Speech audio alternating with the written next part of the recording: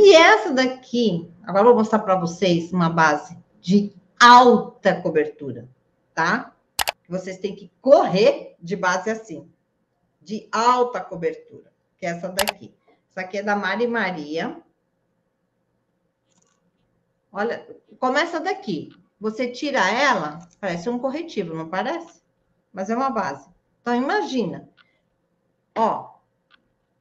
Ela nem pinga, tá vendo? Olha isso. Ó. Ó. Olha como ela é pesada. Isso aqui, para craquelar, não tem igual. Tá? Então, esse tipo de base não serve para nós. Não serve, tá? É isso que vocês têm que prestar atenção na hora de escolher a sua base. Eu sei que são muitos detalhes. Bom, eu tenho que prestar atenção no meu tipo de pele, se é seca, mista, oleosa. Eu tenho que prestar atenção se a base é fluida, se ela é leve, mas ela também pode ser fluida, como essa, e craquelar, né? Porque ela é extremamente, ela pode ser fluida e muito mate, extremamente mate.